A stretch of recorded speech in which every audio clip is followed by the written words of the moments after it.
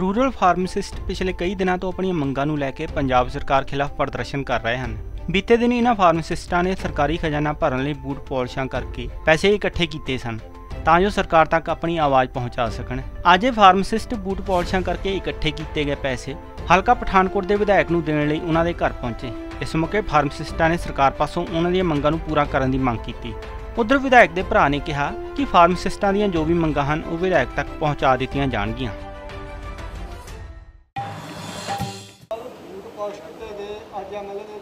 ਘਰ ਆਏ ਹੋ, ਕੀ ਹੋਇਆ?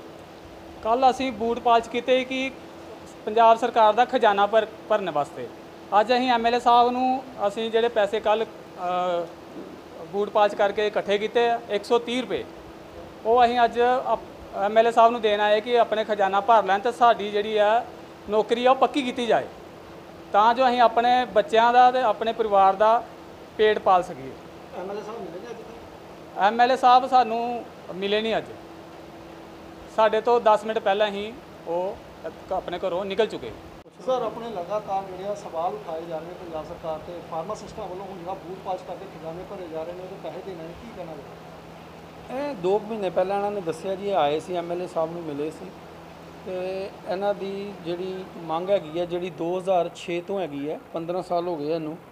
ਤੇ ਉਹਦੇ ਵਿੱਚ ਇਹ ਮੰਤਰੀ ਸਾਹਿਬ ਨੂੰ ਤੇ ਸੀਐਮ ਸਾਹਿਬ ਨੂੰ ਐਮਐਲਏ ਸਾਹਿਬ ਨੇ ਇਹਨਾਂ ਦੀ ਰਿਕੁਐਸਟ ਜਿਹੜੀ ਇਹਨਾਂ ਮੈਮੋਰੈਂਡਮ ਦਿੱਤਾ ਸੀ, ਉਹਨਾਂ ਨੂੰ ਭੇਜ ਦਿੱਤਾ ਤੇ ਉਹਦਾ ਉਹ ਫਾਲੋ ਅਪ ਕਰੇ ਕਰਦੇ ਨੇ ਕਿ ਕੀ ਹੈ ਔਰ ਇਹਨਾਂ ਨੂੰ ਵੀ ਆਸ਼ਵਾਸਨ ਦਿੱਤਾ ਕਿ ਤੁਹਾਡੀ ਜਿਹੜੀ ਵੀ ਤਕਲੀਫ ਹੈ, ਦੁੱਖ ਦਰਦ ਤਕਲੀਫ ਹੈ, ਉਹ ਸੀਐਮ ਸਾਹਿਬ ਤੱਕ ਤੇ ਹੈਲਥ ਮਿਨਿਸਟਰ ਜਿਹੜੇ ਹੈਗੇ ਨੇ ਸਾਡੇ, ਉਹਨਾਂ ਤੱਕ ਪਹੁੰਚਾ ਕੇ ਇਹਨਾਂ ਦਾ ਮਸਲਾ ਜੋ ਵੀ ਹੱਲ ਹੋ ਸਕੇਗਾ, ਸਾਡੇ ਵੱਲੋਂ ਪਠਾਨਕੋਟ ਵੱਲੋਂ ਪੂਰੇ ਡਿਸਟ੍ਰਿਕਟ ਆਹੀ ਤੇ ਆਪਣੀ ਡਿਸਟ੍ਰਿਕਟ ਦੀ ਗੱਲ ਕਰਾਂਗੇ, ਇਹਨਾਂ ਨੇ ਦੱਸਿਆ ਕਿ ਚੁ- 44 ਇਹਨਾਂ ਦੇ ਕੁਲੀਗਸ ਹੈਗੇ ਨੇ।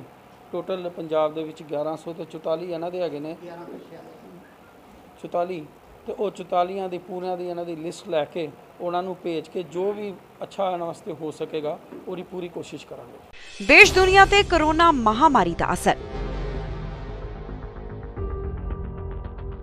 ਇਹ ਜ਼ਰੂਰੀ ਹੈ ਕਿ ਤੁਹਾਨੂੰ ਮਿਲੇ ਸਹੀ ਜਾਣਕਾਰੀ ਅਤੇ ਪਤਾ ਹੋਵੇ ਸੱਚੀ ਖਬਰ। ਅਜੀਤ ਵੈਬ ਟੀਵੀ ਦੇ ਸੈਂਕੜੇ ਪੱਤਰਕਾਰਾਂ ਦੀ ਹੈ। ਹਰ ਪਲ, ਹਰ ਜਗ੍ਹਾ ਤੇ ਹਰ ਸਥਿਤੀ ਤੇ ਪੈਣੀ ਨਜ਼ਰ। ਪਿੰਡ ਕਸਬਾ, ਸ਼ਹਿਰ ਹੋਵੇ ਜਾਂ ਦੇਸ਼ ਵਿਦੇਸ਼, ਅਸੀਂ ਜੁੜੇ ਹਾਂ ਤੁਹਾਡੇ ਨਾਲ ਅਖਬਾਰਾਂ ਤੇ ਸੋਸ਼ਲ ਮੀਡੀਆ ਰਾਹੀਂ। ਕਲਮ ਦੀ ਤਾਕਤ ਤੇ ਵੈਬ ਟੀਵੀ ਦੇ ਮਾਧਿਅਮ ਦੇ ਨਾਲ ਹਰ ਜਨ ਤੱਕ ਪਹੁੰਚਾਵਾਂਗੇ ਹਰ ਮਨ ਦੀ ਆਵਾਜ਼।